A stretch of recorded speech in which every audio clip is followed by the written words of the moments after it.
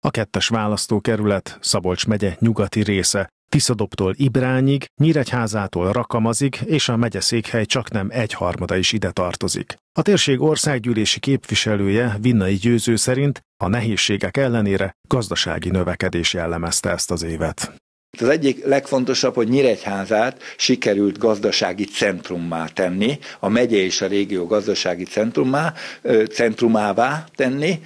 Az ipari bővítés jelenleg is folyik, mintegy 130 hektáros az ipari parkja Nyíregyházának, és kormányzati támogatással 400 hektár bővítés folyik most, hogy a nagy befektetők is tudjanak jönni, a közműellátottságot is megszerveztük. Hát örömmel jelentem, hogy nem olyan rég, október 18 8-án volt a W-Scope dél-koreai akkumulátorgyárnak az alapkőletétele, éjjel-nappal építik ezt a gyárat, ez az én választókerületemben van, közvetlenül ott Bugyka mellett, az M3-as mellett, és 2024-ben el akarják indítani a termelést, 1200 új munkahelyet hoznak itt létre, óriási dolog. A képviselő szerint az ipari park másik jelentős beruházása a Lego bővítés, amelynek köszönhetően újabb közel 300 új munkahely fog létrejönni, és amelynek dolgozói zömmel a kettes választókörzetből érkeznek. Vinnai Győző azt mondta, Nyíregyházán és környékén idén rekordszámokat ért el a foglalkoztatottság,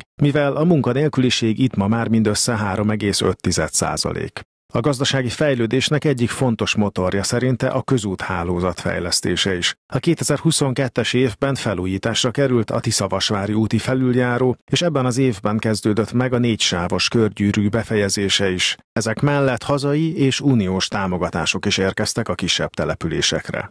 Sikeres volt ebben a választókerületben a Magyar Falu program. 2022-ről azt tudom elmondani, hogy több mint 600 millió forint érkezett csak a Magyar Falu program révén, és ez azt jelenti, hogy az önkormányzatok, a kisebb önkormányzatok, az 1000-2000 fős önkormányzatok rendbe tudták tenni a belterületi utakat. Persze itt mindig, mindig, hogy mondjam, egy útfejlesztést csak elkezdeni lehet, de befejezni sohasem lehet, mert mindig vannak olyan utcák, útszakaszok, amit fel kell újítani, és emellett a közintézmények is véleményem szerint rendben vannak. Ez már nem csak a Magyar Falu programnak köszönhető, hanem a, a topos uniós forrásoknak is, mert büszkén mondhatom, hogy 11 bölcsöde épül ebben a választókerületben 20 településen, ebből már néhányat átadtunk Tiszalökön, Tiszanagyfaluban, van amely jövő év elején kerül átadásra, és van amely például Kámáházán